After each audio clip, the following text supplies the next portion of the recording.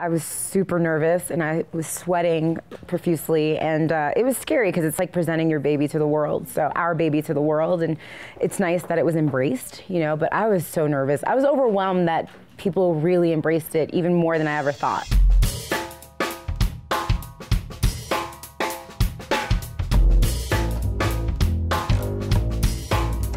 The story is the, the first date of Barack and Michelle Obama back in 1989, south side of Chicago and it, it, it really only focuses on that one day and it traces them from the time Barack picks Michelle up in the early afternoon uh, until they part ways for the, uh, for the evening. I didn't have any qualms about making it because the approach was always to focus only on that moment in time and, and, and to, to, to bring that to life as authentically as possible, to tell a love story as realistically as possible. When I was writing it, when I was working with the actors, these these guys to to they're crafting their performances. We we ignored everything after 1989.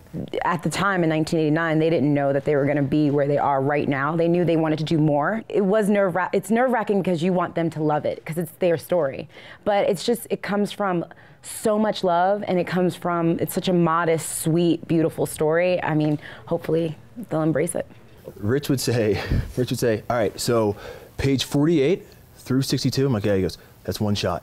Just know yeah. everything. So once you got into the work, the pressure was more just like, well, I just got to get through today and yeah. get through the scene and make sure it's truthful. The challenge of the the script itself, I think, alleviated the challenge of like the the wider yeah who you're playing thing. My process was to get the impersonation down, like a full-on impersonation. And every morning before I got into before we got into the car, uh, in the mirror, I would do classic uh, there's no blue America, there's no red America. I would do the, the voice just to get like a very strong Obama impersonation.